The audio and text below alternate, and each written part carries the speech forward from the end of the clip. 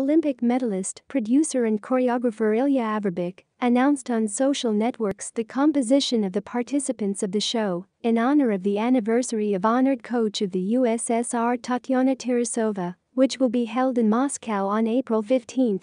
According to Averbukh, the event will feature Alexei Yagudin Anna Shcherbakova Alina Zagitova Evgenia Medvedev Kamila Valieva Mark Kondratyuk Victoria Sinitsina Nikita Katsalapov Evgenia Tarasova Vladimir Morozov Tatyana Totmianina Maxim Marin and Alexandra Stepanova Ivan Bukin Dmitry Aliev Roman Kostomarov Oksana Domnina Maxim Shabalin Tatyana Volosozhar Fedor Fedotov Maria Petrova Alexei Tikhonov Albena Denkova Maxim Stavsky Alexander Enbert Ksenia Borodina Dmitry Solovyov Ivan Kolesnikov Kirill Zaitsev Nikolai Kolesnikov Alexandra Shinkarenko Vladislav Mikhailov.